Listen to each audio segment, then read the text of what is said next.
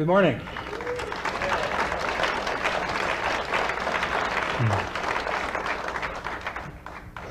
Um, we, I have a, uh, quite a few taxa to, to show uh, in the genus Psilocybe, uh, which is my original forte and uh, center of, of, my studies at the Evergreen State College. I uh, went to the Evergreen State College in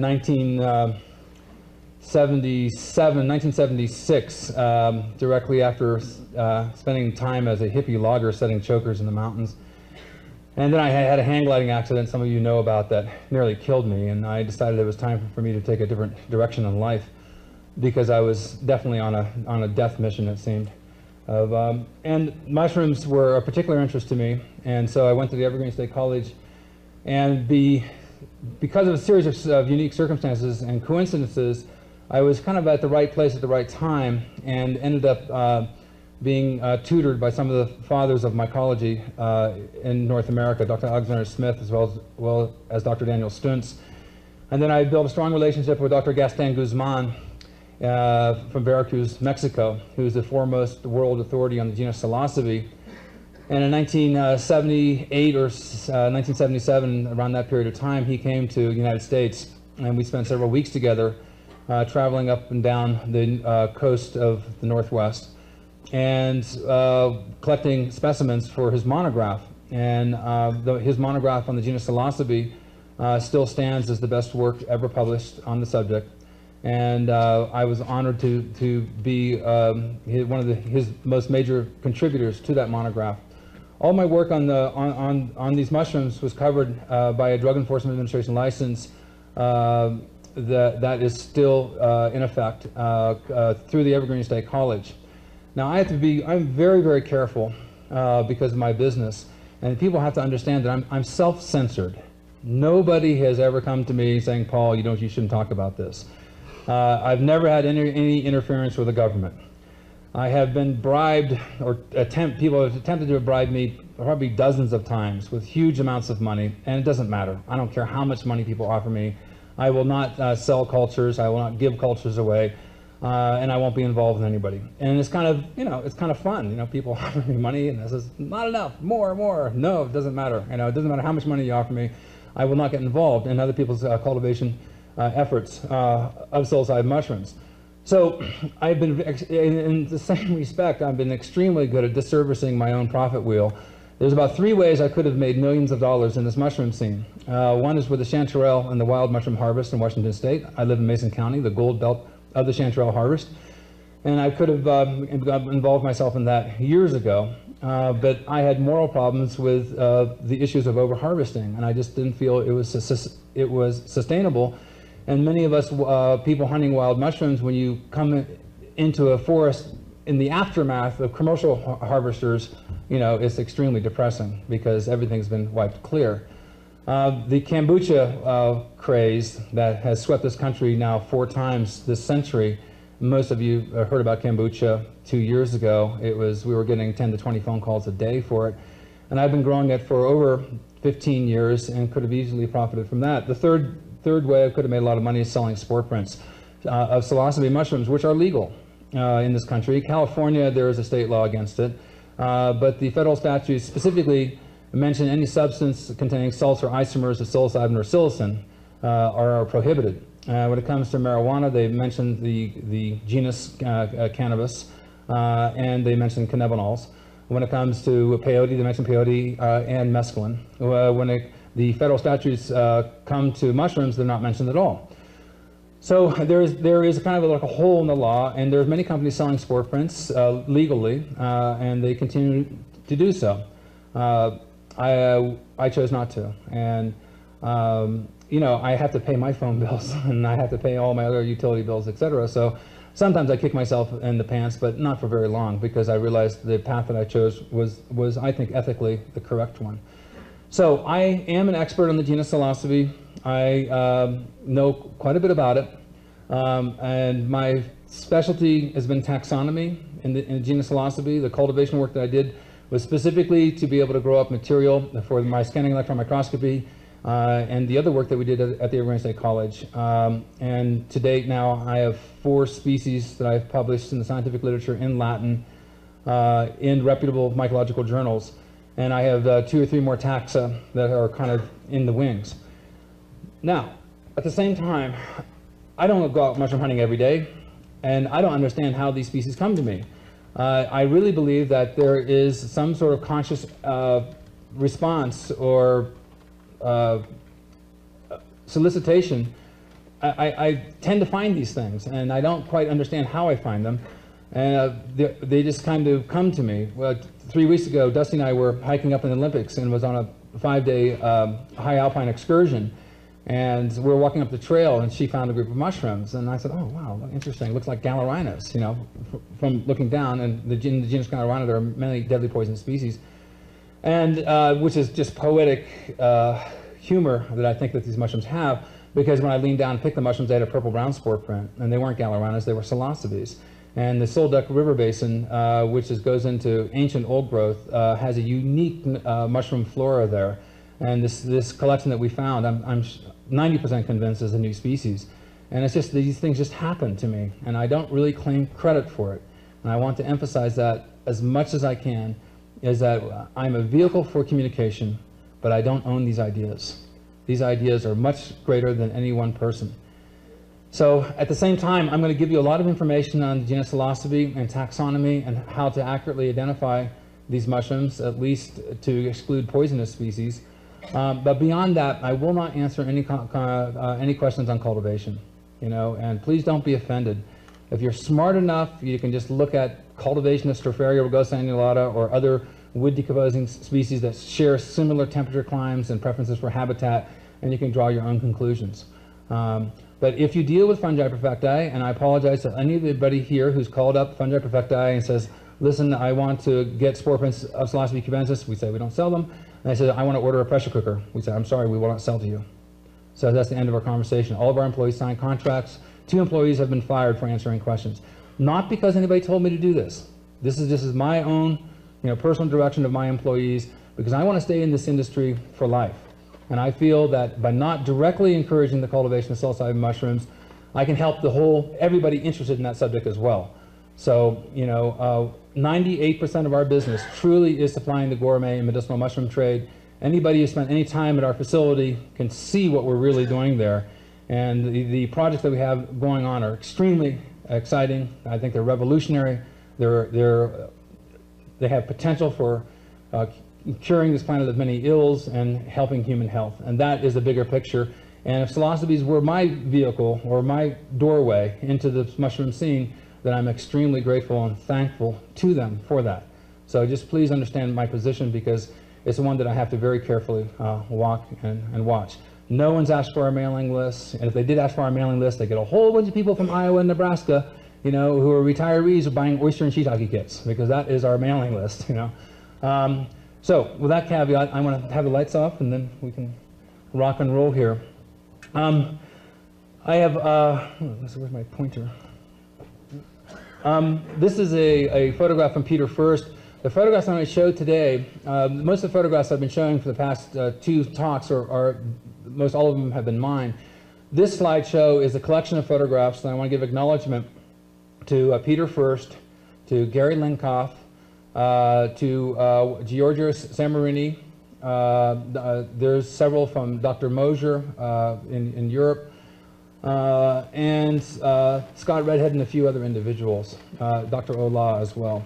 And I am not going to specifically individualize every photograph to the, to the photographer, but they're, they're credited in, in, in, my most recent book, Psilocybin Mushrooms of the World. This is from southern Mexico, about 500 years AD, and I think it illustrates what we all share in common. This is probably the, one of the, the many of the uh, ancient mushroom conferences, you know, and the celebration of mushrooms. And I think all of us feel the same as, as these Mesoamericans did, you know, uh, nearly uh, um, uh, 500 years ago. Um, so it, it is through art that we know much about the history of the use of mushrooms. And all of you who are artists out there who are poor and struggling, I hope you bear in mind is that uh, you know civilizations have been studied through the art and artifacts that have remained and been preserved through time. So the great thing about these conferences also, and one of the sorry things I think about the Grateful Dead disbanding, is that there's a whole subculture of artists who do, do all sorts of mushroom motifs and mushroom work that's just incredibly beautiful. And these people spend a lot of time, you know, uh, making, making these artworks. So I, I, hope all of you who are artists, you know, continue making mushroom motifs, etc., and, and art with mushroom themes, because I think it, it will survive through time. And we'll, you know, century from now from now, uh, a century from now, anthropologists will look back at this period and say, well, what is the art of its time? In that regard, Christian Rätsch, who was here last year, has produced an excellent book, which is about, I think, a thousand pages long, just came out. It's in German, and it's the Cyclopedia of, uh, of Psychedelic Plants. Uh, and in what Christian does, which I love about his work, is that he goes back a thousand, two thousand years, shows the entire timeline and the use of mushrooms throughout many cultures throughout the world, and then he takes it through the 60s, the 70s, the 80s, and the early 90s. So he treats it as a continuum. He is a true, you know, ethnomycologist in that respect, but he doesn't stop the timeline, you know, at R. Gordon Wasson. He continues it all the way to the present. So I highly recommend his book. It is in German. It just came out. and he's got an excellent section on mushrooms. Okay, in northern Algeria, uh, about 5,000, uh, 5 to 6,000 years ago, there's some reports that, we're putting these, these drawings now about 7 to 8,000 years ago. Uh, in northern Algeria, at the Tassila, at the Tassili n'Ajjer Plateau, which literally translates as the plateau of running rivers, um, there was found um, a huge complex of uh, caves, which is the largest repository, they believe, of cave art in the world. I think there's 60,000 images have been, uh, have been recorded so far. Uh, northern Algeria now, of course, has been encroached by the Sahara Desert, but several thousand years ago, 12,000 years ago, the end of the Ice Age, and uh, as the ice age, as the glaciers receded, of course, you know, uh, there was lots of rivers, and deciduous woodlands and, and conifer woodlands flourished.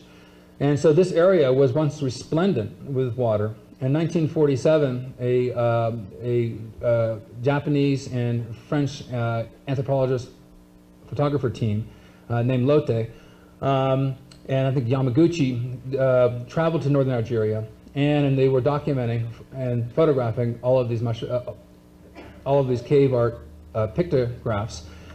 And you know, they were running out of water, and they sent one of their emissaries uh, down in, search for water. And he traveled through a, a complex labyrinthine uh, cave system, and he went deep into the recesses of this cave network.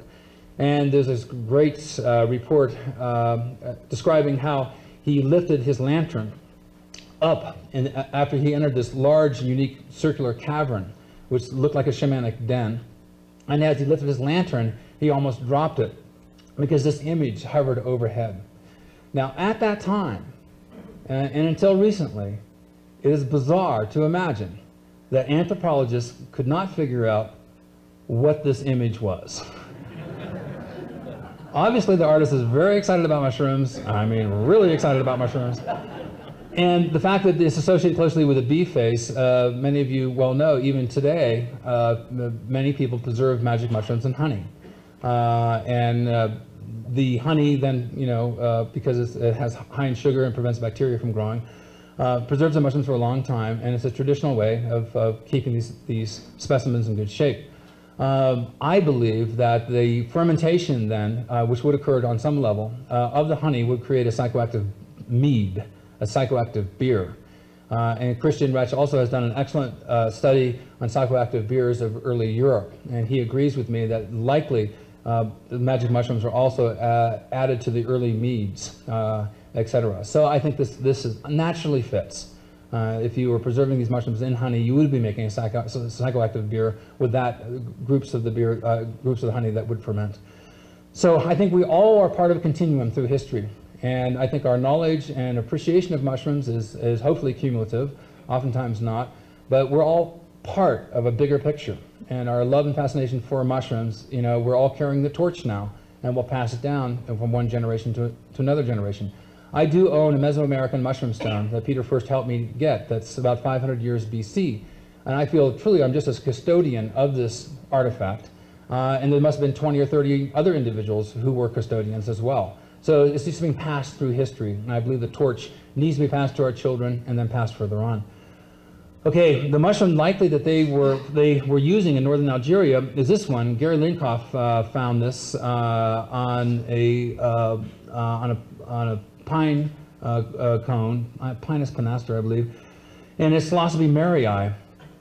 And this is a very exciting find. And Gary's and Manny Sol, uh, Salzman and Joanne's uh, travels around the world have been exceptionally beneficial to me because they've been able to go to regions and take photographs of things that I have not been able to collect. So this one is still was recently collected in Algeria, which you know is probably a remnant of a much larger population of psilocybes that were resident at the time that there were deciduous woodlands and there was and the and there was lots of running rivers. But as as the, as the desert environment you know expanded, of course these species became a lot less uh, frequent in their occurrence, and then the ritual use of them probably died out because lack of lack of availability. Um, Mesoamerican mushroom stones, um, there's several excellent books on them. There's one that's uh, funded by the Japanese Tobacco Institute, uh, working with a nun in Guatemala, who I would love to see come to this conference sometime. Uh, her name is, is Yvonne Summercamp, and she is uh, um, now been elevated as a, as a mother of a convent. And she has spent a lot of her time studying the use of magic mushrooms and, with particular emphasis on mushroom stones uh, in Mesoamerica.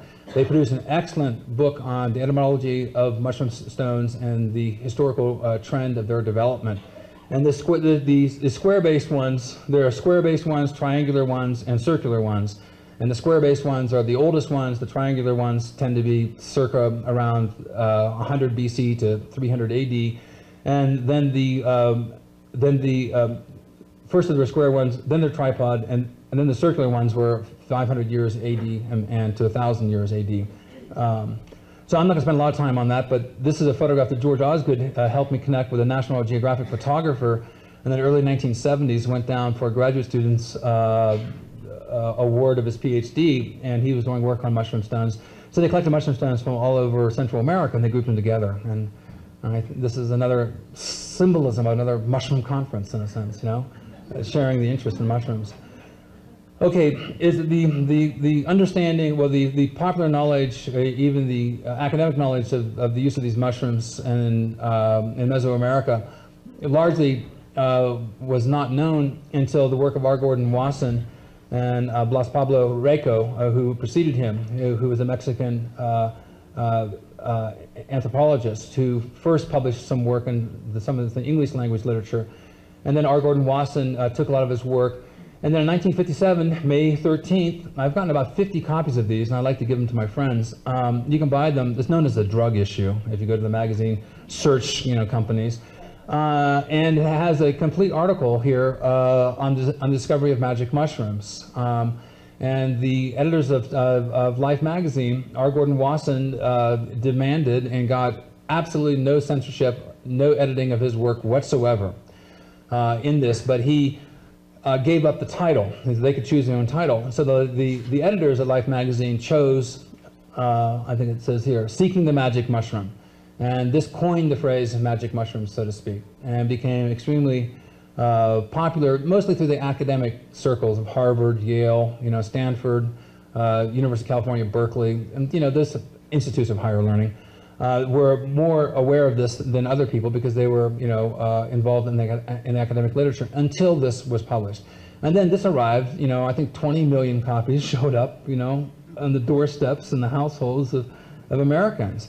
And wow, you know, this had a big effect and created a domino uh, interest in, in the magic mushrooms. And this is the famous Maria Sabina, who's a shaman. Uh, there are other people, um, Jonathan Ott in particular, who can speak uh, uh with much a greater depth than I on this on this subject. But in here, Roger, this is R. Gordon Wasson, Roger Heim, who's a French mycologist, and in here they published, and it's very, very super excellent uh, watercolors that are taxonomically correct. Roger Heim was an artist as well as a very good mycologist. And these are, this is a field guide that, you know, again, showed up in 20 million American households, uh, showing you how to, how to identify magic mushrooms in Mexico. Well, um, and, and there's extraordinary reports in here of the visions, you know, of palaces and, you know, all sorts of geometric, all sorts of, all sorts of geometrical fractals and all those great descriptions that we all, all love to, to read and experience. Um, so it got, it got a lot of people uh, excited, especially people involved in the Beat generation, you know, poets, the Jack Kerouac age, you know, a lot of those individuals got real excited uh, about this information, including Ken Kesey, uh, et cetera. Um, and so they used this, and they, a lot of them went down to Mexico in search of the magic mushroom. They disguised the, the name of the village where Maria Sabina was actually practicing in order to protect her, but many, many people were able to seek her out and find, find her, and she was inundated. The mushroom that was most highly revered in, in, in southern Mexico uh, was this one, which is very, very curious because this is a very petite, small uh, uh, species. It's known as Psilocybe mexicana. It is packed full of psilocybin, very, very low in psilocin. You can jump on this mushroom. It does not bruise bluish whatsoever. Uh, the bruising bluish reaction is a, is, is, a classic reaction that typically indicates uh, with dark spored uh, purple brown mushrooms uh, that the mushroom is psychoactive. Um, so I find it always very curious that of all the other species they had abundantly around them, many, most of which were much larger than this, and much more conspicuous. This inconspicuous grassland species was the preferred mushroom given the, the name of the village where Maria Sabina was actually practicing in order to protect her, but many, many people were able to seek her out and find, find her, and she was inundated. The mushroom that was most highly revered in, in, in southern Mexico uh, was this one, which is very, very curious because this is a very petite, small uh, uh, species. It's known as Psilocybe mexicana. It is packed full of psilocybin, very, very low in psilocin. You can jump on this mushroom. It does not bruise bluish whatsoever. Uh, the bruising bluish reaction is a, is, is, a classic reaction that typically indicates uh, with dark spored uh, purple brown mushrooms uh, that the mushroom is psychoactive. Um, so I find it always very curious that of all the other species they had abundantly around them, many, most of which were much larger than this, and much more conspicuous, this inconspicuous grassland species was the preferred mushroom given the epithet uh, Teonanácatl, which means uh, God's flesh. So, uh, and this is what it looks like. Uh, these are fairly large specimens, and uh, they tend to dry out and become hygrophanous. Um, and um, I was able to cultivate it. It was a beautiful mushroom to cultivate, and it has, it's like God touched the center of every mushroom. It was really a beautiful mushroom to grow uh, but also very petite. And, um, and this mushroom was reserved for the most sacred of rituals. And uh, touristas and, you know, who come down uh, from America and elsewhere in Europe, they were typically given psilocybe cubensis or sometimes psilocybe caerulescens. Uh, and that uh, psilocybe cubensis was associated with the Spaniards and the invasion when they brought cattle, cattle into Mesoamerica. And so it is believed that psilocybe cubensis did not occur until the conquistadors came over. And then with them, they brought spore mass, uh, um, probably from an island off of Spain that was a major uh, trading port for them. So it may have come from India or you know, you know, uh, Vietnam or, or the Southeast Asian uh, group, and then came over, you know, to Mesoamerica from there. Gary showed this photograph of mine, a Psilocybe tampanensis. It's really rel relative to Psilocybe mexicana. It, it, uh, both of these species form sclerotia. Uh, Stephen Pollock and uh, Gary Lincoff uh, discovered one specimen. Uh, the one specimen that was discovered was uh, uh, cultured by Stephen Pollock, and then other specimens, voucher specimens, were created, and the species was published by Stephen Pollock and Dr. Gaston Guzman. Um, since then, it, had, it has kind of remained in the background until two years ago, and now we, it's been located in Louisiana, Mississippi, along the Mississippi River. So another example of a riparian species. These riparian habitats seem to be fantastic at uh, producing these psilocybin mushrooms. Now, as you'll see in the course of this talk, it, there is a very peculiar uh, association with magic mushrooms following uh, humans. And humans have the dubious distinction of creating probably the greatest debris trails of any organism on this planet. We are great destructors of the environment. And in destroying the environment, we create wood chips, debris, we chop wood, we have fire pits, etc. We make trails, and we have all the spore mass hitchhiking with us. And there is a, a, a flow of psilocybin active species of mushrooms closely associated with human habits. Uh, and we think that nat naturally a lot of these species evolved in riparian environments where there is uh, repetitive flooding, you know, tremendous devastation to the ecosystem, and these then these saprophytic mushrooms, you know, spring into the limelight. So I spoke of this briefly. Um, the spores here in the genus Psilocybe typically do be, uh, are purple-brown, and heavy spore prints like this approach black. And this is spores of Psilocybe cubensis being collected in Mexico on typing paper. Um, and then in the 1970s, a series of books came out, all within a few years, and I'll just briefly describe them. The, Gary Lincoff uh, co-authored this book. My laser pointer's not working. It's the second one down on the left. Uh, toxic and hallucinogenic mushroom poisonings, which was an excellent, still is this day, a super excellent book. Uh, and really, uh, was Gary's, I think, his first uh, publication effort, and he did a su- super job on it.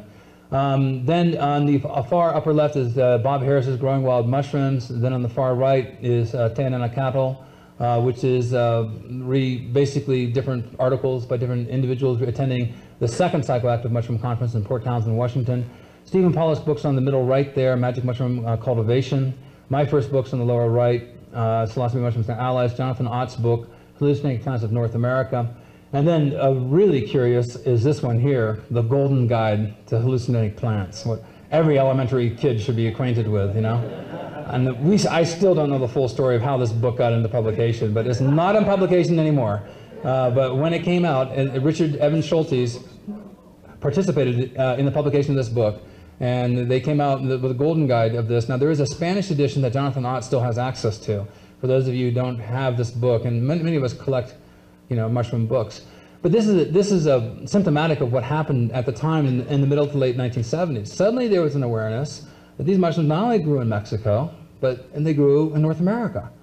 But because they're little brown mushrooms and because of their habitats, they were not frequently seen by uh, traditional mycologists who are mostly uh, identifying mushrooms for pot hunters, people collecting big mushrooms coming in for the table, you know, they want to eat.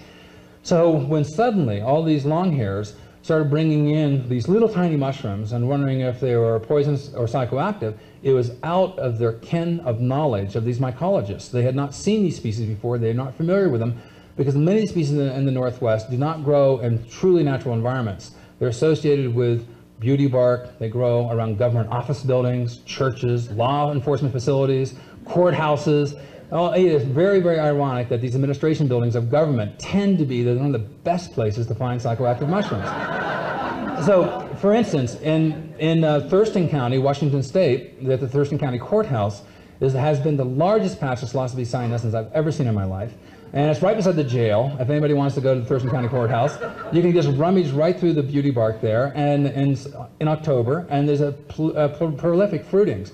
Now, this is ironic, and I would speculate that maybe it's because the law enforcement officials started busting people collecting, uh, you know, these wild psilocybin mushrooms, and they, they foolishly concentrate them into one location because they have to go to the courthouse to be, you know, you know, uh, prosecuted or processed. In the course of that, concentrating all the spore mass into a, a courthouse facility, well, guess what? You know, all these mushrooms start growing around the courthouse. So um, now I know several people who, uh, uh, unfortunately, I know I know two or three people who, um, you know, uh, end up going to jail. Um, and one, one of my friends who, um, who, you know, for his own stupid reasons, uh, ended up getting uh, in trouble. But he was very, very popular at a state penitentiary because he was the only one who knew to, who knew how to identify psilocybes. And in the penitentiary environment, there was huge flushes of cyanescens and baeocystis. So he was like, he, he went to prison and he became a god, right? and he was really looking at a terrible stay in prison, but because of his knowledge and whatnot, I mean, people treated them superbly well. Um, so this is Dr. Gaston Guzman. This is Gary um, from Mexico. Gary Menser, then here. I don't remember this individual's name. There's Stephen Pollock, and this uh, friendly-looking character here is me.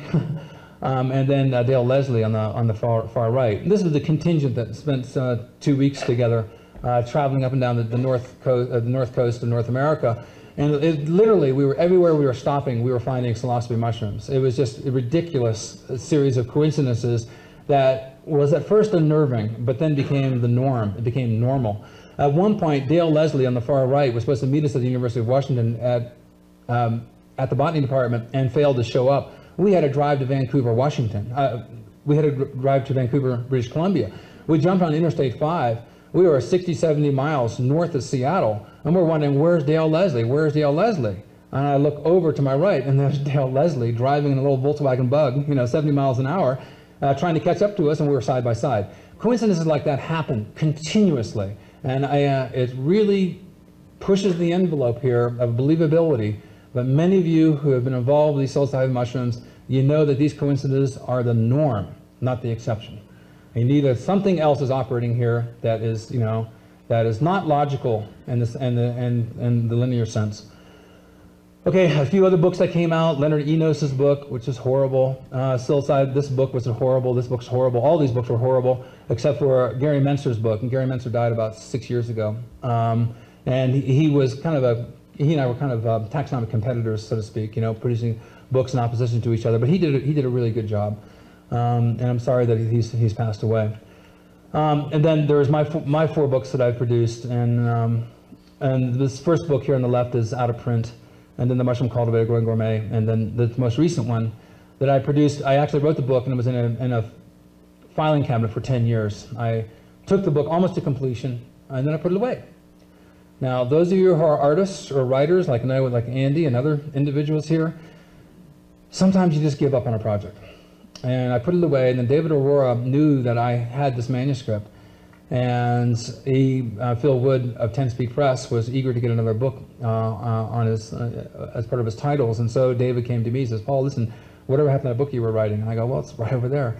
So I pulled the book out and then I re-updated it. And, um, and that's, that book came out, uh, I guess, a year and a half ago, which has had tremendously positive reviews, uh, despite several interesting chapters that I put in the book, you know, like good, good tips for great trips which I thought was actually sink me academically, but as it turned out not to. And I've had a, uh, uh, the Harvard Review wrote a really uh, uh, uh positive review uh, on this field guide, and it's widely used around, by universities around the world. because the taxonomy is good. As I'm, I'm happy to say that. The taxonomy is, is real solid. So psilocybe, psilocybes grow in a wide variety of environments, the grassland environments, the riparian environments, and the woodland environments are the three classic habitats. However, because of the recent colonization of North America, a lot of these habitats cross over.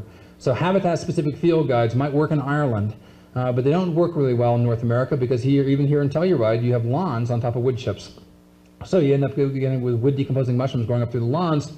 So uh, field guides that are designed primarily by habitat don't always delineate species properly. This is Psilocybe semilanceata, otherwise known as the liberty cap. It grows in Washington, Oregon, British Columbia. There's been two reports from upstate New York. It grows uh, throughout temperate regions of Europe, from, from France and England to Italy. It grows in southern Chile, which is a very interesting uh, environment, as one of the rainforest environments. So this is a species that is widely dispersed around the world, typically associated, associated with grasslands, but the fruitings are enhanced if there are sheep or, uh, or cows present. The extra nitrogen seems to increase the fruitings. And this shows you how many mushrooms that you can find. Psilocybe semilanceata is packed full of psilocybin, very low in psilocin. Those species which are higher in psilocin tend to bruise bluish. Those which are high in psilocybin and low in psilocin do not tend to bruise bluish. Uh, C, uh, psilocin is dephosphorylated psilocybin, uh, and uh, psilocin is, tends to be very unstable. Psilocybin is quite stable. Um, so uh, you'll see more of that. Psilocybin, this, this is a uh, a super photograph by Steve Morgan uh, of Psilocybe semilanceata. It tends to have a dark chestnut brown cap. The, these mushrooms are prolific in the Northwest. Um, and I went to Christchurch uh, in, uh, in Oxford, England, and if we can get this in focus here, thank you, George. Um, this, literally over here on the right, there's a wall there, and that's the wall where Humpty Dumpty fell off of, supposedly, and Lewis Carroll was soliloquying the courtship uh, of the headmaster's daughter. And he wrote, began to write, you know, Alice in Wonderland here. And it was very funny because right the, the field adjacent, I found liberty caps growing, you know, at Christ Church. And I think a lot of these artists and writers, you know, uh, in, at this time in Europe were experimenting or knew people who were experimenting with mushrooms. And I think it really embellished their writings. Uh, semilanceata tends to be cuspidate, has an acute papilla or an umbo at the top of the, of the a little sharp nipple at the very top of the, uh, of the cap, um, and then it quickly decomposes. It- as it dries, it loses its color, becomes straw colored. This is a taxonomically important feature. It's called it becomes hygrophanous. The cap is hygrophanous, dark when it's, when it's wet, straw colored when it, when it dries. Um, and this is my brother John here, who you can barely see. He's the one who first got me into mushrooms. He uh, went to Yale, um, and a lot of his Yale, Yale buddies went down to went down to Mexico and South America, and he came back with extraordinary stories. And I was only 14, 15 years of age, but my ears were really highly tuned to, to what he was telling me. Um, and he came back, and he was, uh, being in New England and whatnot, he collected a, uh, a lot of amanitas as well. So my brother John uh, is really my mentor. Uh, and we spent a lot of times uh, in the woods, and you might say on the ground together. So he's a good tripping buddy of mine. Um, and this, this is a real good example uh, uh, of Psilocybe semilanceata, well photographed by Jim Jacobs. And it shows the, the opaqueness of the cap. Now, one of the species that I was able to, to discover and name was this one, Psilocybe liniformis variety americana. Uh, and this one uh, is uh, also uh, present in Holland, in the Netherlands, and in Scandinavian countries. Um, and it is a grassland species, and it tends to expand out. And you can read more about the taxonomy of these species, and since time is so limited, I, I really need to move on as quickly as I can. This, this is a very good friend of mine. Uh, his name, I won't give his last name, his first name is Eric. Uh, I know a few people here know him. And Eric uh, is a, one, of the, one of the people who's probably spent more times in the field collecting psilocybes than anybody else on this planet. Um, and he told me about this, this species that was growing. And there's a lot of confusion about uh, a species called Psilocybe callosa and then Psilocybe strictipes. I won't go into the, the, taxon into the taxonomy of that, but uh, this is a, an extraordinary environment that is, the, is uh, specific to growing grass seed in Oregon. Now, if you go to uh, central Oregon, uh, it's around Salem or so, uh, Highway 20. You can take Highway 20 uh, east uh, of Salem, about 20 miles to 40 miles, and you'll get into grass seed growing areas where they're growing lots of ryegrass seed and fescues, etc. And the great thing about this environment is there's no cows, so there's no fences to keep them in. So it's a totally fenceless uh, landscape that's about 20 to 30 miles long and 40, 50 miles wide. And in this area, as you can see here with Eric, he's stooping down here, but literally in this field was probably more than 1 million Psilocybe strictipes. And you can't see them until you get closer. And then you get closer and you can see there's like 20 or 30 of them right there in a square foot. And the entire field is like that. Psilocybe strictipes is not as easy to identify because it does not bruise bluish, but it has a purple-brown spore print, and as you'll see, it has a separable gelatinous pellicle. So I'm going to give you several ta taxonomic key features that if you memorize or you look at my book, you'll be able to identify these mushrooms to the exclusion of poisonous species. So uh, this is another example of Psilocybe strictipes. Very similar to Psilocybe semilanceata, uh, but lacks an acute umbo. It tends to be bluntly umbonate. Um, and here's another, another, example of it. Also hygrophanous at the, at, the, at the top of the cap. And this is the separable gelatinous pellicle that is typical of many of the temperate species in the genus Psilocybe that grow in grasslands or grow uh, in woodlands. And this separable skin here, you can, uh, uh, very few other mushrooms have it.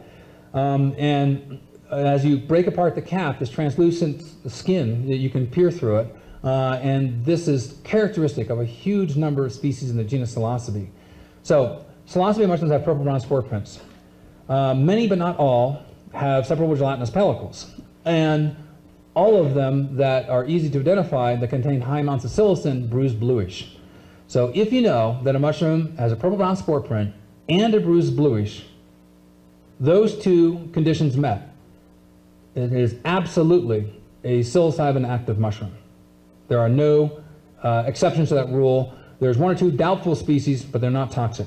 But there's no poisonous species. So here's what the microscopically this separable gelatinous pellicle looks like. It's, it's translucent skin on top of the cap. This is a, a photomicrograph, and that layer peels off quite readily. And at the Evergreen State College, these people have not lost contact lenses. and the Evergreen State College, I, I, like to call it this, the, the psilocybin State College. Uh, because of all, all the work that has been done there, uh, under the, the, tutelage of Dr. Michael Beug, who published some of the best uh, chemistry papers on the proper analysis of, uh, of detecting psilocybin and psilocin from these mushrooms. prior to that point, a whole big soup of uh, tryptamines were being uh, isolated, and there's lots of false positives, and people were being busted for mushrooms that weren't truly psilocybin active. So Michael Beug and Jonathan Ott, a number of other individuals there uh, who were in the chemistry department, uh, produced uh, some excellent research papers that were used, unfortunately, by the, by the DEA, but there were accurate research papers that pinpointed the occurrence of psilocybin and psilocin, uh, whereas before the methods were crude and inaccurate. So there's an example of a mushroom that grows. This is a habitat for Psilocybe stuntzii, uh, which grows in, um, on wood or, or else on, on, on, grassy areas that have been put on top of wood. So this woodland mushroom is poking up uh, through the lawns. Because lawns are heavily watered, you know, and you know, that's a great thing about landscaping is because of this need to have green grass, you know, which is really weird. Lots of pieces of people of the world don't, don't do what we do here, but, but yards are a big thing in America. And because of the abundance of watering is a perfect microclimate for having a lot of these mushrooms come up. Come up. So this is Psilocybe stuntzii. Uh, there's uh, two varieties of it. Um, it's got a partial veil at the, the, that extends from the cap margin to the stem. Uh, better examples of it are here. Uh, it is not a strong, uh, potent species, however, it grows prolifically. And um, this mushroom was one of the, my, uh, at the time, Jonathan Ott and Dr. Guzman found, Dr. Daniel Stuntz in the 1960s from the University of Washington sent specimens to Guzman, who was working on psilocybe, saying, what is the species? Uh, Guzman could not identify it. Um, he needed more collections. Jonathan Ott, myself, and a few other people provided uh, more collections of it to Dr. Guzman, and then Dr. Guzman named it after Dr. Dr. Daniel Stuntz, calling it Psilocybe stuntzii. Now, in the field of mycology, there is no greater honor. It is like the Nobel Prize in mycology. There's no greater honor than to bequeath and to name a species after an individual. In the field of mycology, there's no greater faux pas than to try to name a species after yourself. In total contrast to medicine. If you find a, a, new, a new a unique disease, then you know is, a great pat on your back and a feather in your cap to name a disease after yourself, after yourself if you are a physician. In the field, the field of mycology, that's an extreme faux pas.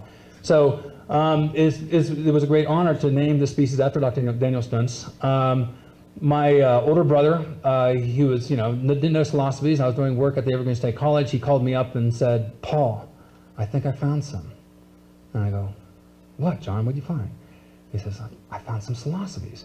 I go, John, listen, it's hard to identify mushroom over the phone, but let me try. You know, let's talk about the characteristics. Does it have a separable gelatinous pellicle? Yes, it does. Where's it growing? It's growing in wood chips. I go, does it bruise bluish? He goes, yes. I go, what's the spore color? It's purple brown. I go, wow, John, you know, it sounds like you may have found it. And uh, John was not, you know, a good taxonomist, but he knew enough about the language that we could actually communicate.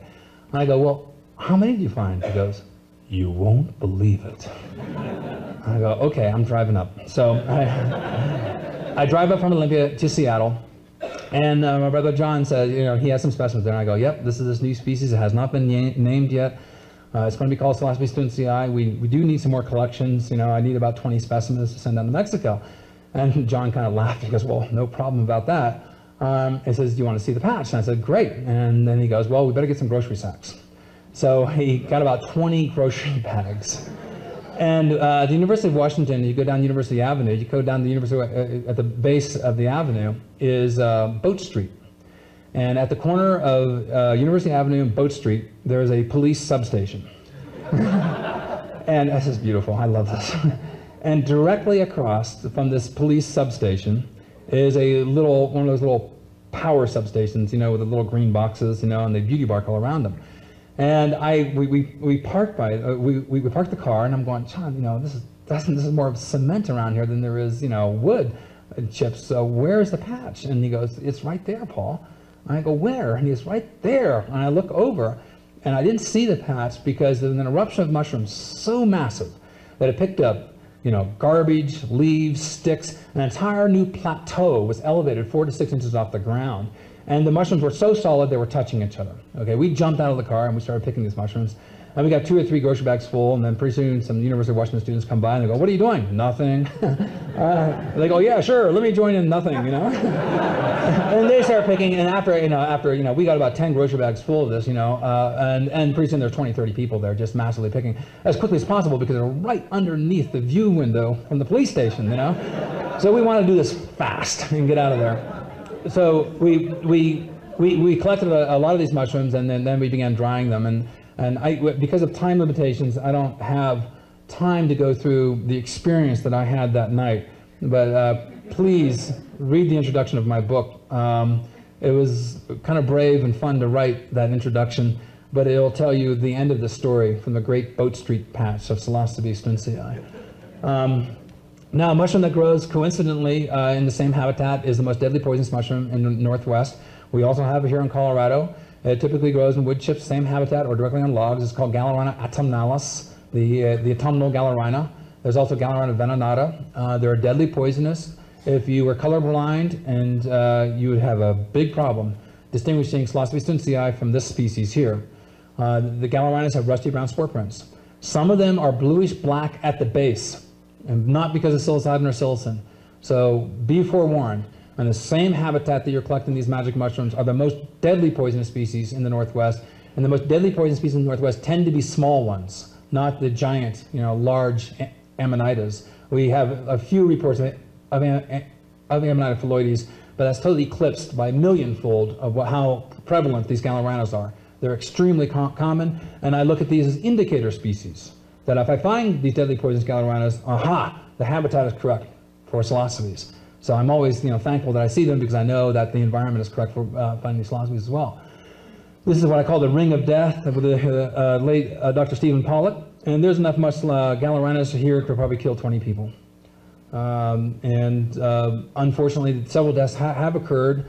Um, and Andy and myself and Manny were very uh, strong in our belief that we should educate the public so if they are going to look for these magic mushrooms, they don't kill themselves by mis misidentification. There's a group of mycologists and physicians who believe that these long hairs who are looking for these magic mushrooms, if they mistakenly identified them and ate a deadly poisonous mushrooms and died, so be it.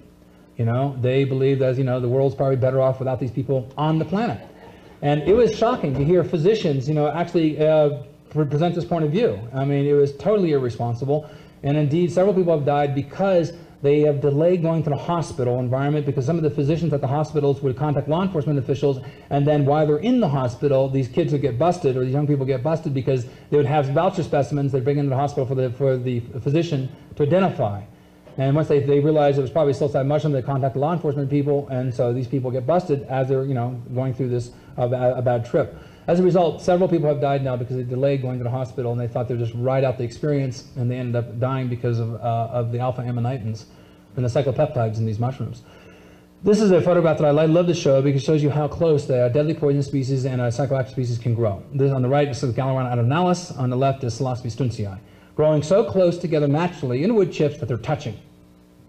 Now, all of us know many too many eager beavers that will go into a patch like this and collect all the mushrooms.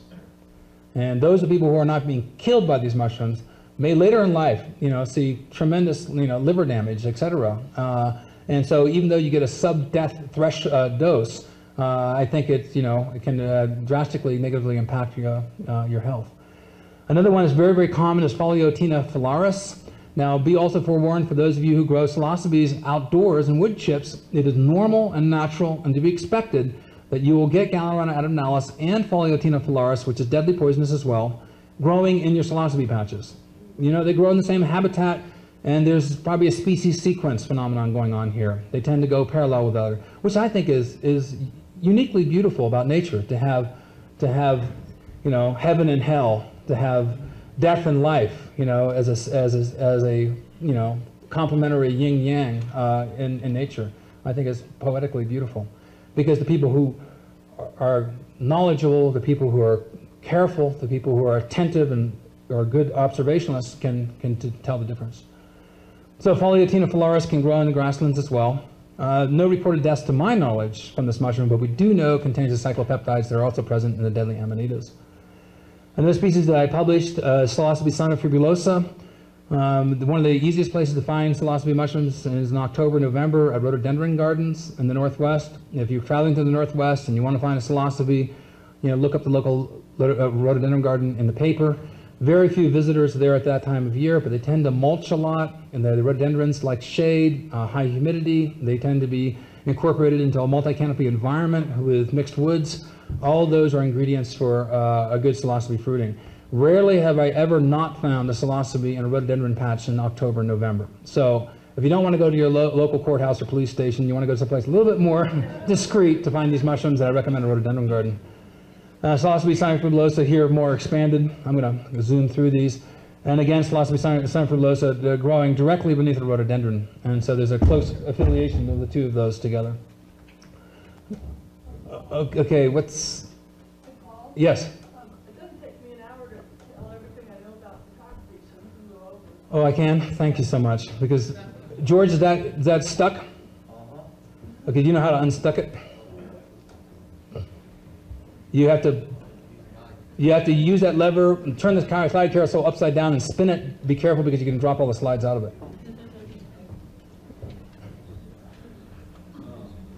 Is this? Um,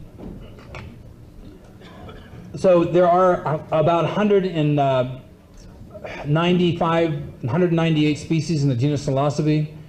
We know now that 95 to 97 of which are psilocybin active. So almost half the species, or half the taxa presently published in the world, contain psilocybin and psilocin, which is the largest proportionality of any species in any genus containing those substances. George, I can fix that in a New York second if you want to want me to jump down. Just cra- crash, the- crash the thing and pull it up. You know how that lever in the center? You know that release lever? You got it? Right. Be, be careful when you spin that so you don't. Yeah. What's that?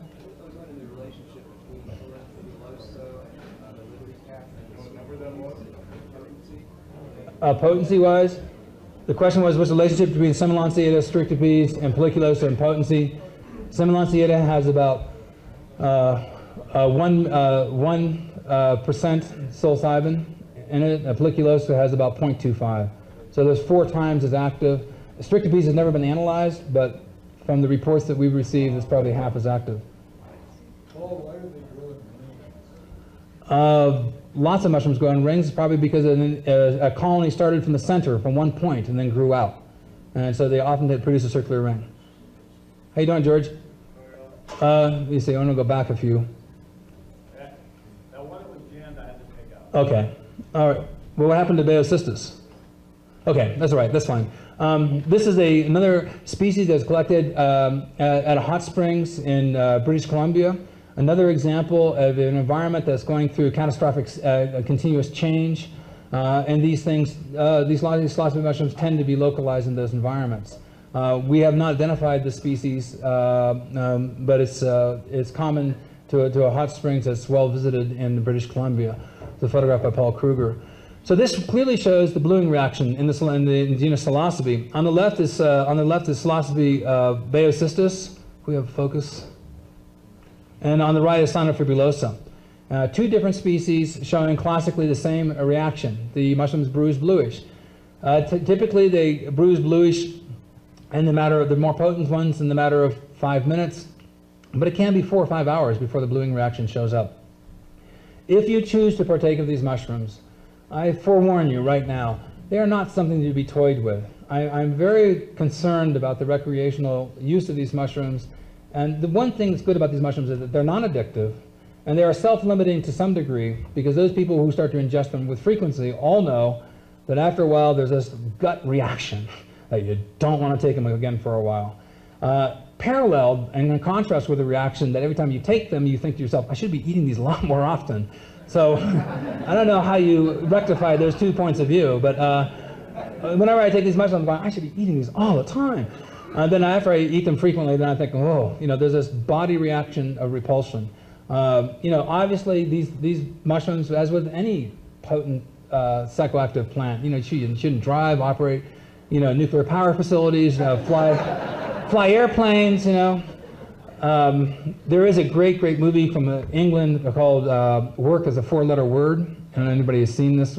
This guy is working in a steam uh, plant that's powered by nuclear energy, and he buys a mushroom kit from a mushroom mail order business, and he can't get it to work, so he takes it to the steam plant, and pretty soon the entire nuclear facility is taken over by magic mushrooms, Psilocybe cubensis, and he has a great time you know, with the SWAT teams coming in to raiding, raiding the facility, they have to walk past the beds of the mushrooms, and the mushrooms are saying, "Eat me, eat me."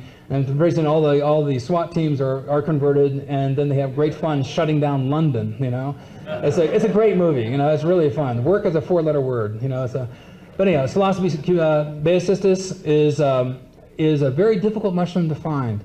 Uh, it hides itself. It's like morels. It's very, very difficult. It has a bru- bruising reaction on the stem as well. Pretty potent. A lot of misinformation on Baeocystis. There's a compound isolated called baeocystin, which is also, also another tryptamine, you know, uh, indole derivative. And it is associated with a death in Kelso, Washington, of a five-year-old uh, kid. Um, it was then uh, used by alarmist mycologists as saying, watch out, these mushrooms could be deadly poisonous. Um, I knew Alexander Smith, you know, quite well before uh, he died. Oh, obviously I wouldn't know him well after he died. Uh, well, maybe I could. Wait a second. Uh, um, so, uh, but the, the, the collection that, that was published was, uh, was not Baeocystis, it was cyanescens, and the compound should have been called cyanesin, but it was called baeocystin because of a misidentification. And then talking to Alexander Smith, he conceded to me that there were galerinas also growing in that yard uh, subsequently that he, he, when he visited it, and that this whole thing was a misnomer. I described that also in detail in Psilocybin Mushrooms of the World. So for those of you who've heard about this baeocystin being toxic, there's no evidence of it whatsoever. Uh, another example is Psilocybe baeocystis.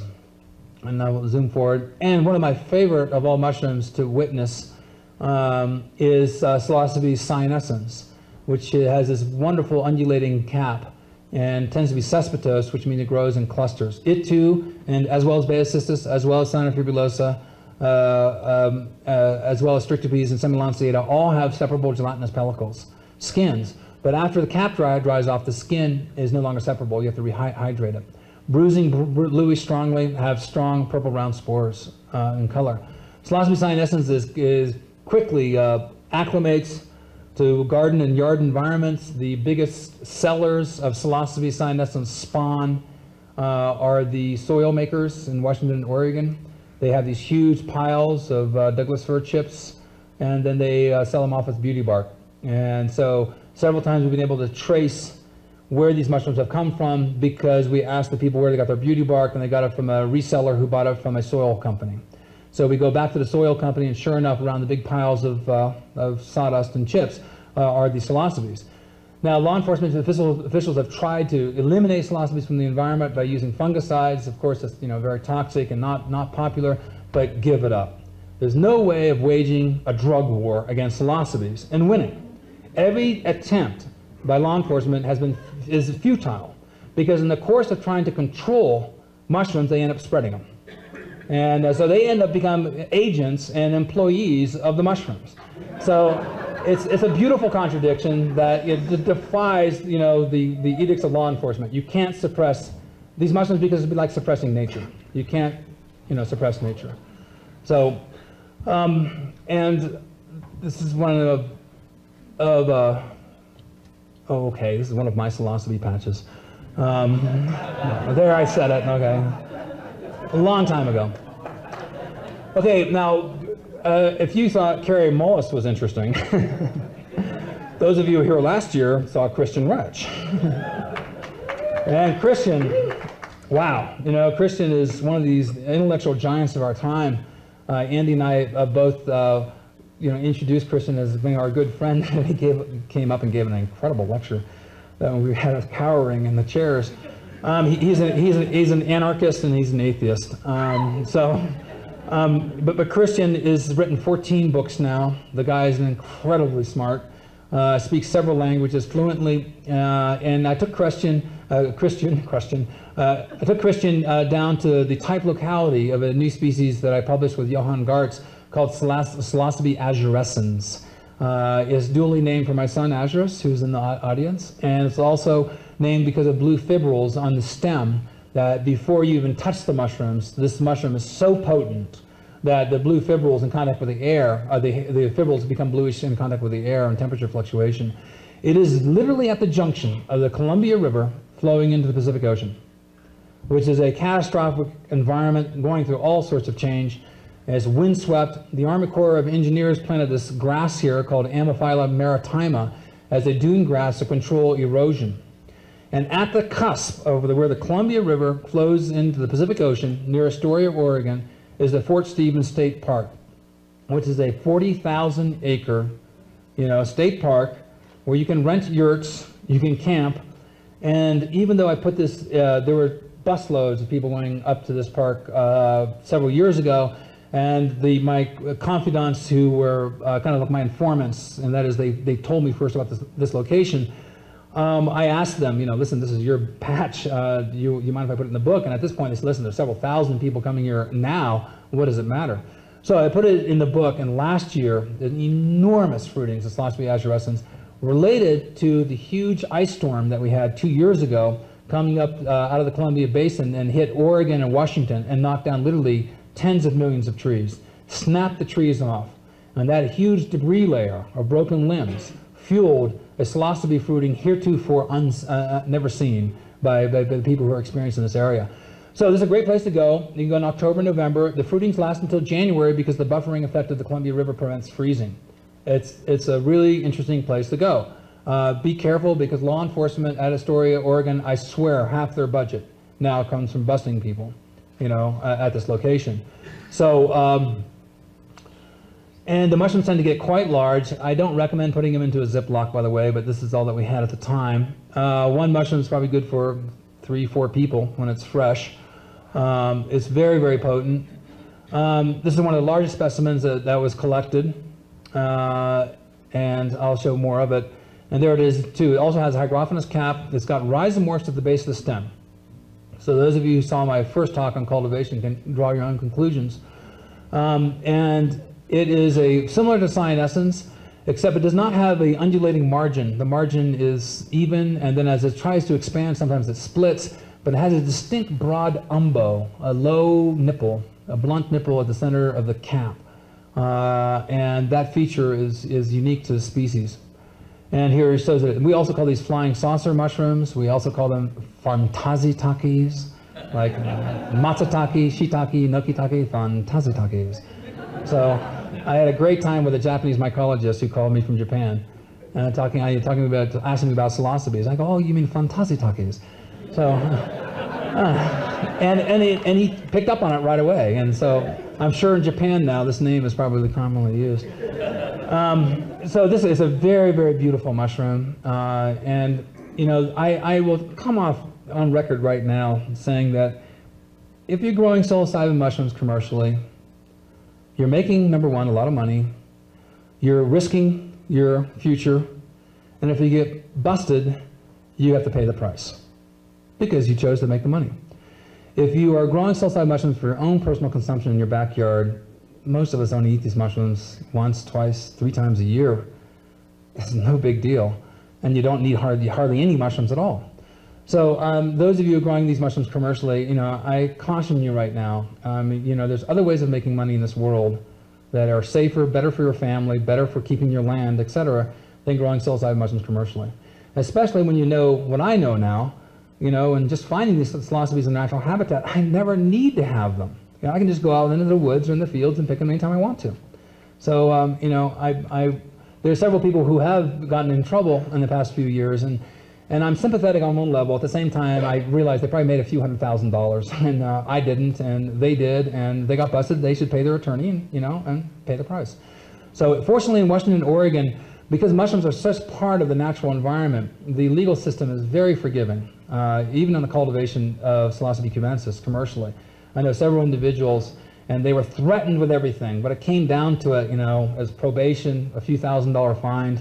You know, one person spent eight weeks in, in jail and had 400 dried pounds of cubensis. I mean, so it, it's, you know, mushrooms are looked upon as being different than LSD, different than, you know, cocaine or anything like that by the legal system in some parts of the country. In Iowa and elsewhere, you know, uh, mushrooms are looked upon as drug manufacture and they lead, read the law as code.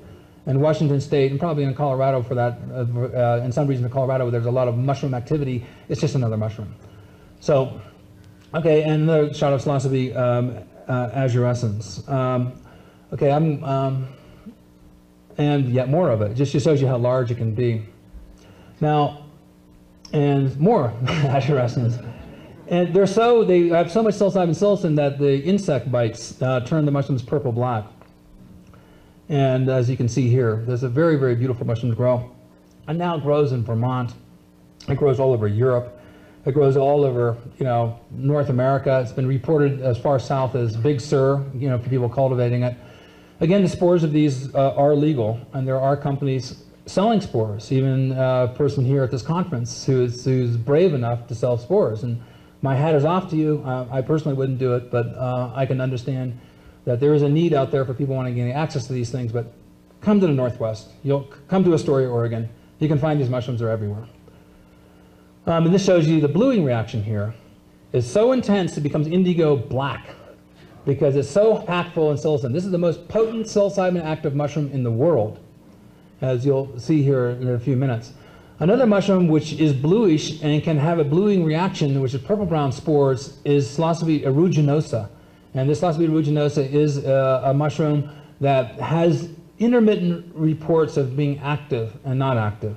And it may be that this blue pigment, which we know now is not a directly linearly derived uh, degradation compound from psilocin, but appears to be a parallel pathway where as the psilocin is being uh, uh, broken down, that this blue pigment is also being formed with a parallel degradation pathway. It's not directly in the same line, but it's a good indicator.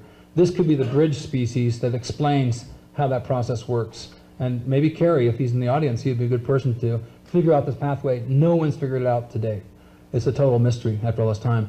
Psilocybe is another, this is one that looks very much like the, what we call telluride, telluridensis. This is what I'm hoping that sometime we can find some more specimens of.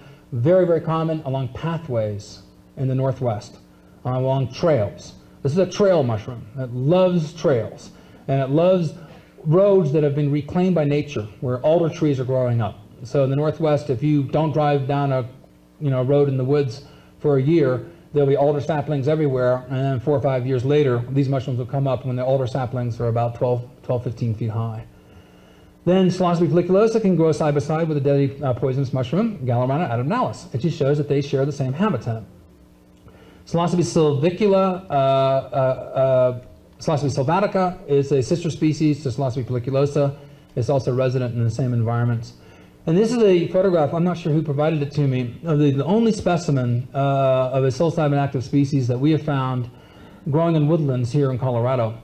And uh, this lone specimen uh, is very folliculosa-like, as you saw in the previous, previous images. And in culture, it produces these circadian rings that are uh, strongly blooming. Guzman has these cultures, these are his cultures, and he has, he was sent one, the partial specimen, and in the course of his analysis, uh, analysis, he determined it was a new species because it has pleurocystidia, which are very unique. Um, but no more voucher specimens, we can't publish it. So again, if somebody collects it, um, you, I'll give you Dr. Gaston Guzman's address. You can send it directly to him. And if we get at least two specimens, then we have a new uh, taxon, a new species. Okay, now this is the, my most recent species, and this is the interface environment that these psilocybes love. And this is classic, is uh, a, a grassland going into a woodlands. And that margin environment, that interface environment, tends to be the most productive area for finding these psilocybes. And this is, this is from northern uh, Georgia in Cherokee County. And I, this person contacted me uh, over internet, and I rarely ever answer any questions on psilocybes, but I was curious because northern Georgia, there's no reports. There's a psilocybes caerulescens that was found by Montgomery, Alabama in 1914, uh, but there's no other reports besides Psilocybe cubensis and ano- another one, uh, another uh, mamala- mamalata from Georgia. So this person contacted me, and I sent her a, a series of questions, fully expecting the person uh, didn't, didn't really have anything of interest, and it turned out that she did. Um, and this is this new species uh, named in honor of Andy, Psilocybe weilii, which, which I just like the name, the way it sounds, wild eye, you know, wily eye. What do you say, you know? I think it fits, it fits perfectly. It's, yes, it's very strong. You'll see it, uh, an analysis of it coming up here in just a minute. And it has this um, dark region at the center of the cap, uh, which is uh, real distinctive of it. Now, is this is growing in the back of a person's yard that's in a development in Georgia right adjacent to a woods. Um, I just got a, a photograph from a person in Kentucky, and it looks like now, it looks like, we're not sure, and we don't know for a few more weeks, but it looks like Wiley Eye is now reported from Kentucky.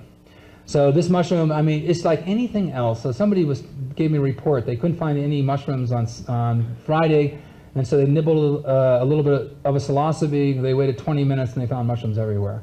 Uh, and it may be that once you learn rec- to recognize things in the background environment, that this mushroom will become a lot more frequently encountered because people didn't know that what to look for. It's got purple brown spores, bruises bluish, you know, um, and um, does not have a separable gelatinous pellicle. Um, but when it's young here, it's uh, very similar to some species, um, a species called Caerulescens in Mexico. Okay, and it has white margins on the gills, which are very uh, uh, characteristic of many species in the genus Psilocybe. I won't go into those microscopic features. Uh, other people are, are aware of some of my work uh, microscopically with Psilocybes. So this is the this is fantastic. You know that um, that we can. I don't know how to ex- adequately express this, but to give Andy recognition that he's been long overdue because he put his neck out.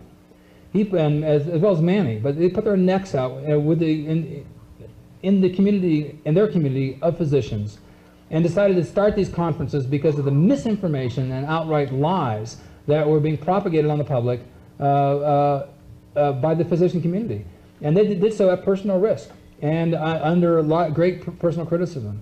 So I'm, I'm really honored that I was in the position of giving Andy the recognition he so, uh, you know, uh, so, so much deserved. Because in 1975, in the Harvard Botanical Leaflets, he published one of the first reports on the use of mushrooms outside of Eugene, Oregon. And uh, that really stirred up a lot of interest because it was one of the first reports of psilocybes uh, growing in that area being used. We knew that they were in the area, but we had very little knowledge. And through his contacts, then it just emanated out from these people who knew these mushrooms that informed other people, et cetera, et cetera. And the last shot of psilocybe eye. Okay, I'm going to switch to one more carousel. It's 15 minutes after. I started 10 minutes after. Can I, can I have 10 more minutes? Okay. All right.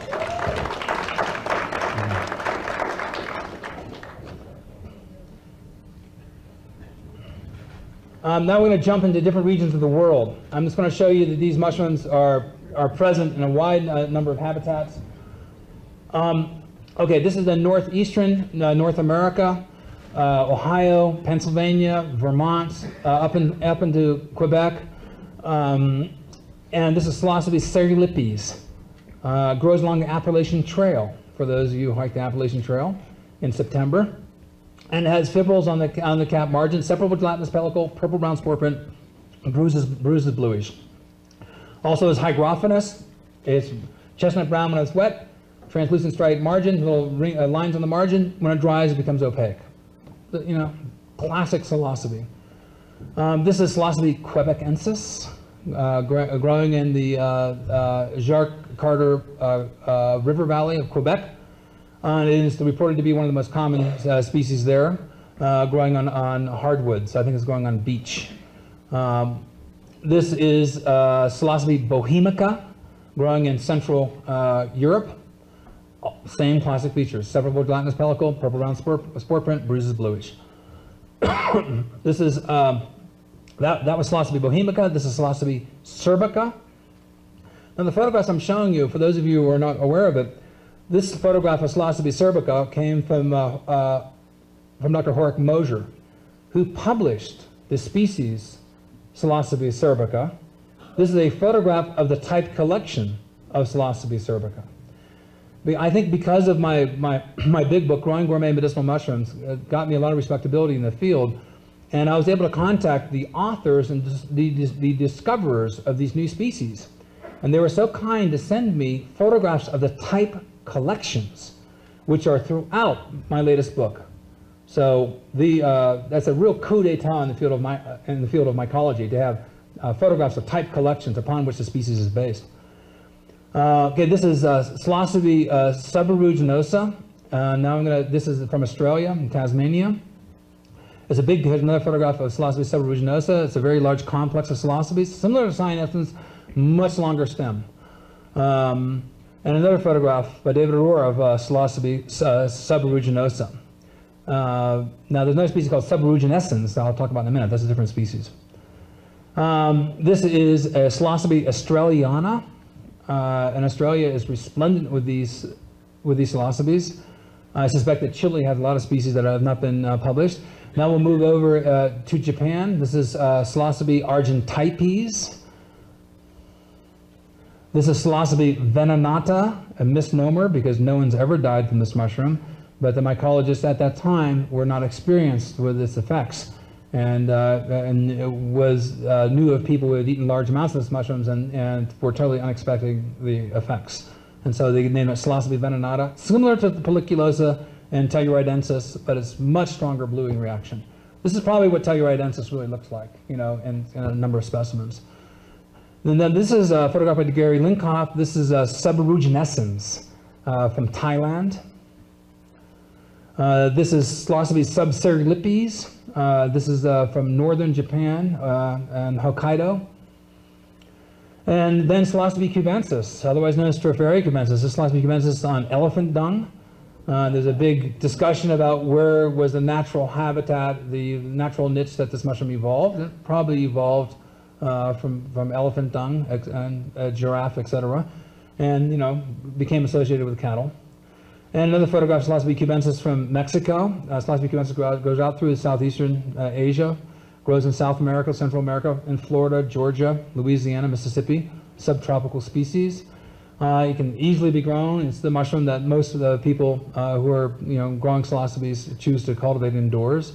It's a majestic and beautiful mushroom with an exquisitely formed partial veil that that falls. And any of you who've witnessed this, I highly recommend that if you uh, uh, see the mushroom at this young form, sit with it and watch it develop in front of your very eyes. In a matter of an hour, you can watch this partial veil totally drop in slow motion.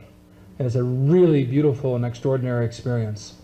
And I recommend that many of you, before you ingest these mushrooms, that you sit with the mushrooms, you try to connect with them. I believe that mushrooms choose individuals. They don't, we don't choose them. Or more so, I, more accurately, when the mushrooms choose us, we have good experiences. When we choose the mushrooms, sometimes the experiences can be good, and maybe bad. But I think uh, there's a, a pairing there that uh, demands great respect on both parties. And a photograph by Kit Scates of Psilocybe cubensis and jar cultivation was the method that Austin Eric or Terrence McKenna and Dennis McKenna popularized through, the, through their books. Uh, photographed by Satit uh, Taitakun of growing Psilocybe cubensis in Thailand on, uh, on rice hulls. Psilocybe cubensis can be grown on a wide variety of substrates. And I took this photograph at the Maya Bells campground in Palenque because this is kind of typical. There is a conference that we do every year in Mexico that uh, Jonathan Ott, and Terrence McKenna, Rob Montgomery, and uh, Ken Symington uh, organize, and uh, Sasha Shulgin, myself, and a number, uh, Giorgio Samorini, Christian Rätsch, a number, a number of people attend. You can go to our homepage at fungi.com, and we have a description of that conference. You know, it's a lot of fun, and I highly recommend it, and it's right at the Mayan ru- ruins uh, in Palenque. And then uh, Psilocybe hoogshagenii. This is this is a mushroom that grows in central and south southern Mexico. Uh, by J- a photograph by Jim Jacobs. Very very unusually looking uh, looking psilocybes. Psilocybe aztecorum, uh, used uh, obviously by the Aztec peoples and is one of their preferred sacraments. Psilocybe hoogshagenii grows in coffee plantations in uh, the highlands of uh, Guatemala and uh, Mexico, southern Mexico. Uh, very, very pretty golden yellow mushroom. It strongly bruises bluish. It's an interesting combination of colors. Psilocybe zapotecorum, which I love that name, zapotecorum. Um, a photograph of Jim Jacobs as well, and this looks like an elf's cap. It's very, very common. Okay, I'm going to just finish up with these few photographs. This is a comparison of the maxima uh, uh, of the maximum psilocybin and psilocin concentrations in baeocystin in about 12 different species of psilocybe. My pointer does not work very well here, but oh, there it goes. There's psilocybe azurescens, which is just way above. The closest species would be baeocystis, then psilocybe bohemica, then semilanceata, then cubensis, then I can't see it, and I can't see it, and I can't see it. And it goes on from there. You, these charts are also in the book. More interestingly, you look at the uh, levels of psilocybin and psilocin and baeocystin, and you'll see that psilocybe azurescens here is just extraordinary. Combined psilocybin and psilocin and baeocystin is like 2.5% of its dry mass are these crystalline, uh, crystallized tryptamines. So that's a phenomenal amount of this compound. And it begs the question, why are these mushrooms producing this compound? I, uh, clearly, uh, these mushrooms are becoming more prevalent because of human interest and human intervention. So um, I think that is a valid argument. These mushrooms are coming into, into being by our participation with them. And insects are attracted to oyster mushroom spores, and beetles dig into Piptoporus betulinus. Why wouldn't humans also be enlisted as an agent for spreading the progeny of psilocybes? The parallels are already there. And I think it's part of our continuing symbiosis. But humans have a peculiar attitude of thinking that because they're so complex, that they can't be involved in these subtle interrelationships. And I think that's a really egocentric and false point of view. I think we're involved actively in spreading spore mass of these things uh, and uh, consciously by these mushrooms. Okay, I, am going to, I have a whole bunch of sli other slides, but I'm not going to get through them. Uh, this just came in the mail to me two days ago, and this is by um, uh, Machiel Noordeloos, which is a, uh, a Norwegian uh, mycologist who published this in Mycoflora. And I show this because um, I'm very greatly honored, and I, I feel so thankful. Um, he published a short monograph on Pholiota, Psilocybe, and Pinealis. And in this monograph, where he reevaluates the original type collections, uh, and he's restudied uh, about 25 different species of uh, psilocybin active mushrooms, in this little monograph that he's produced, he chooses my photographs in psilocybin mushrooms of the world and my descriptions as being uh, descriptions and photographs accurately reflecting the type collections. So uh, Gary and Manny, you know, you all know the, the significance of having your photograph chosen and selected as a typical uh, representation of the species. So um, this, this is good news for me uh, uh, academically because it means that my taxa now that I've named, including Psilocybe weilii, Azurescens, uh, Cyanofibrillosa, liniformans variety americana, will now, it's, it's got validation from other mycologists around the world uh, which means that the, the work that, that uh, I and we have been doing uh, has been validated.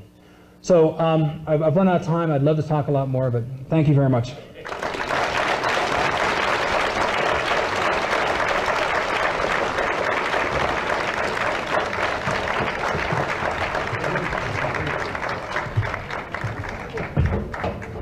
I want to take a uh, minute um, to acknowledge the contribution of uh, so many people to this event. Um, Gary Lincoff, John Corbin, Kary Mullis, Rita Rosenberg, Mushroom Strudel, Paul Stamets, Andy Weil, Bill and Karen Adams, Jane and Eleanor Adams, Lee and Linnea Gilman, Art Goodtimes, Paul Kleit, Jason Salzman, Joanne Salzman, and John Sergesi, and many, many others. Uh, I wish I could remember the, the man uh, that Art Goodtimes brought uh, to bake the mushroom bread. Was just outstanding. And there are so many others who've uh, added to this event that has so many aspects, and uh, we all appreciate every contribution. Um, I also want to remind you of uh, Tom Thacker, who was indicted for mushroom possession, psilocybin mushroom possession in Austin, Texas. Austin, Texas is not Olympia, Washington. And uh, Tom is faced with the possibility of five years to life in prison for possessing psilocybin mushrooms. There's a box on the um, uh, counter in the lobby uh, where you might make a contribution or uh, pick up the information that uh, would enable you to write a letter in his support. Uh, Anyone need a ride from Telluride? Any rides needed? If not, we'll continue in five minutes uh, with Linnea Gilman on photography.